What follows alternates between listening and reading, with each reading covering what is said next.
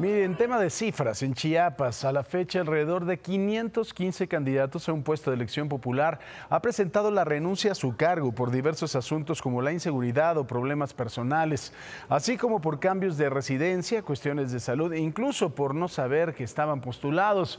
De acuerdo con el Instituto de Elecciones y Participación Ciudadana, el Partido Verde Ecologista encabeza la lista con un total de 85, seguido de Morena con 80 y Encuentro Solidario Chiapas con 41. Además, se que renunciar ya es una circunstancia que está prevista en la normalidad electoral.